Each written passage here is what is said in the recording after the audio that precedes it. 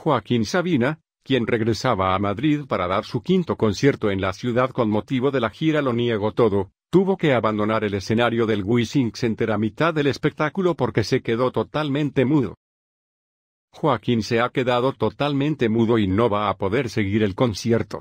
Lo sentimos de todo corazón, dijo Pancho Barona, guitarrista de Sabina, luego de que el cantautor abandonara el escenario, producto de su incidente vocal.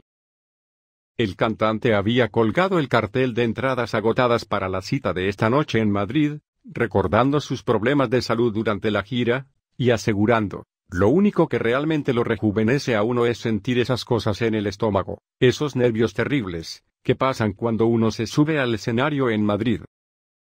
Sabina se recuperó luego de tener un susto por una tromboflebitis en la vena iliofemoral de la pierna izquierda.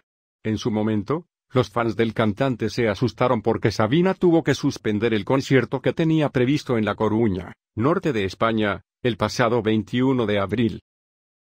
Los rumores indicaban cierta gravedad. Ahora volvió a cantar, pero el músico no pudo terminar con el show. ¿Más preocupación para sus seguidores?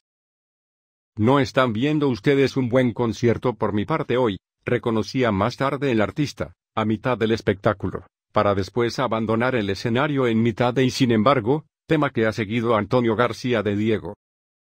Sabina estrenó la gira Lo Niego Todo en mayo de 2017 en México después de tener que reprogramar las fechas de su inicio, en marzo de ese año, tras ser operado de una hernia ventral, y después tuvo que volver a interrumpir el tour cuando en abril de este año sufrió una tromboflebitis en la vena y lo femoral de la pierna izquierda. F.